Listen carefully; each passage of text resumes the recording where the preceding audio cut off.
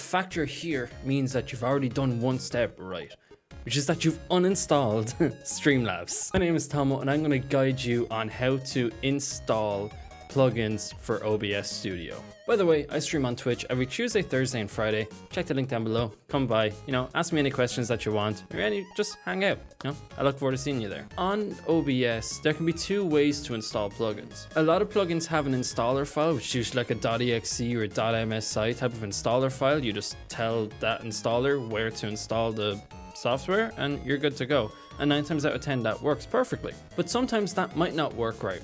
Or sometimes the plugin that you're trying to install just doesn't have an installer. But I'm going to guide you through exactly how you can get this installed. So the first thing you're going to want to do is head over to the obsproject.com website and go looking at all the plugins that are available. Now, most of these plugins again will come with an installer, but we're going to heavily focus on just manually doing the files. So we're to take the plugin waveform here, for example. I don't have this installed. So here we go. On here then, we just have a pretty standard plugin. Sometimes they can have the download buttons here linked right inside them. Sometimes you have to click on the go to download button. So we're to click that and this one brings us to a GitHub. Don't be scared of GitHub. It's quite easy. So literally, so this one does have a .exe setup, but again, we're to go for the zip file.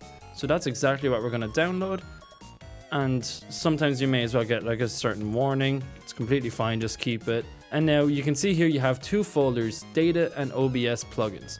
And this is super easy to actually do. So with that open, you also want to open up another file explorer. You can all do it in the same one. I'm just laying it out like this just to make it a bit easier for you guys to see. And what you want to do is you want to navigate to where your OBS is actually installed. So most of the time it's going to be under C, program files and OBS Studio but I'm to use a different folder just because I have OBS installed in multiple places just to be able to teach you guys this type of stuff.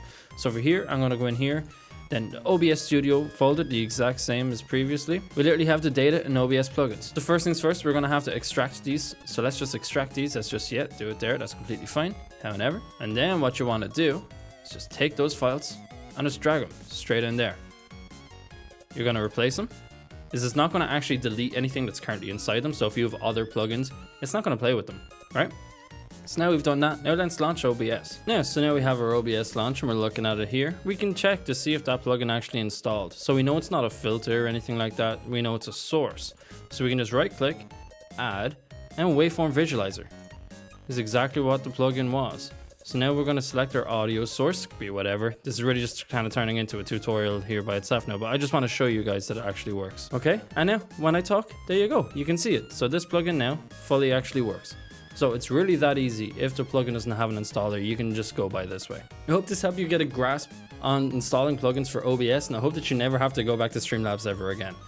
Again, if you're looking for more in-depth tutorials, over here we have Stream.bot, a nice tutorial there to teach you how to integrate your stream a lot better. And right over there is how you can do a barrel roll in it, just to kind of give you an example of all the awesome stuff that you can do. Thanks so much for watching. I'll see you in the next one. Peace.